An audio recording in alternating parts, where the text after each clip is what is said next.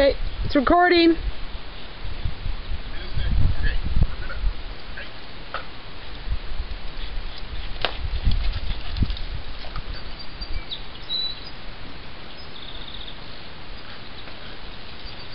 Tandem.